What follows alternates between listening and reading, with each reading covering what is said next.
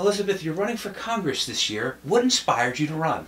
Well, as a young a young girl, I grew up in Michigan. I was the 11th of 12 kids, and I think I was the only kid that caught the political bug. Um, I had eight brothers, and I always say I've been fighting for human rights my whole life.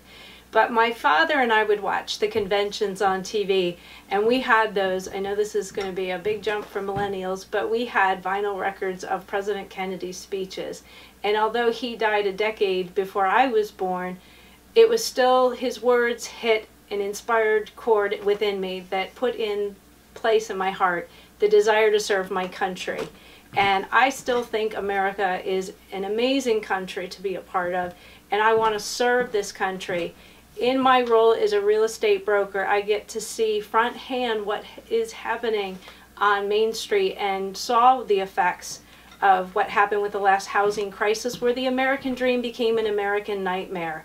And as we move to an area of relaxing those regulations, I want to make sure someone's in in Congress who's willing to stand up for the consumers and make sure our interests are protected, but not only just our housing interests, but to make sure our quality of life interests are addressed, that we continue to build our communities with strong schools, infrastructures, jobs, that our environment is protected.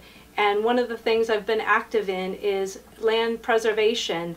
And believe it or not, developing land doesn't add more to the local economy. Actually, keeping open space does. And so I will continually advocate for the environment and for awareness of climate change and protection of our resources.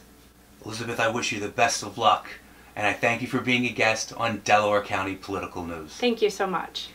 We have been here with Elizabeth Moro, and I am your host, Larry DeMarco. If you like this video, please forward the link to all the people on your contact lists and Facebook friends. We are signing off. Tune in next time. Bye for now.